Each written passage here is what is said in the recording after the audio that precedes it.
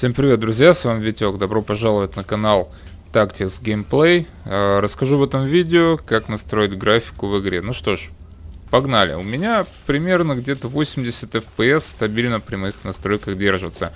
Карточка уровня GTX 970 э, от гигабайт на 4 гига оперативки. Итак, Погнали. Что же у меня по настройкам? Заходим в раздел видео.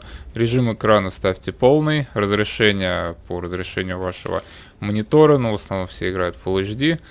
А, яркость. Ну, в принципе, там 50, скорее всего, будет стоять. Я чуть поярче сделал для летсплеев.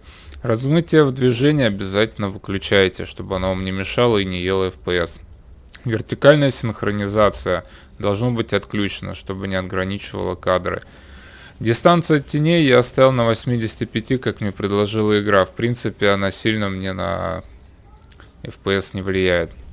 А вот дальше интересно. Качество теней я на высокое не ставлю, так как тени, в принципе, на средних смотрятся отлично.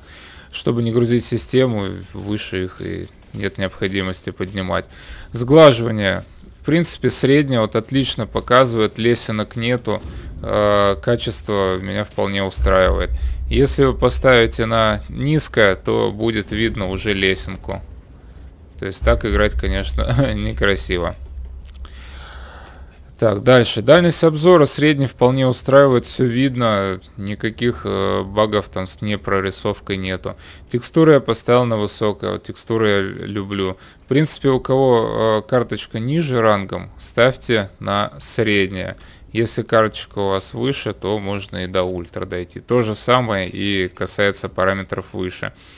Постобработка, ну это замыло отвечает в основном. В принципе, я средний оставил, чтобы совсем игру э, не оставлять без красок.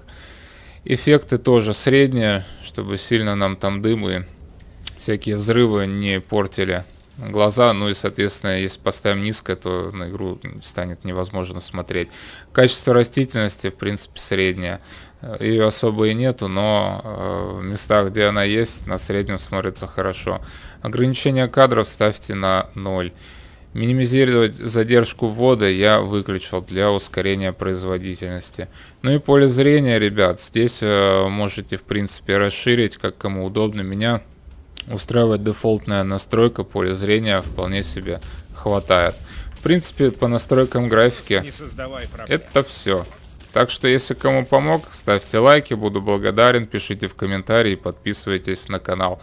Всем удачной игры, всем пока.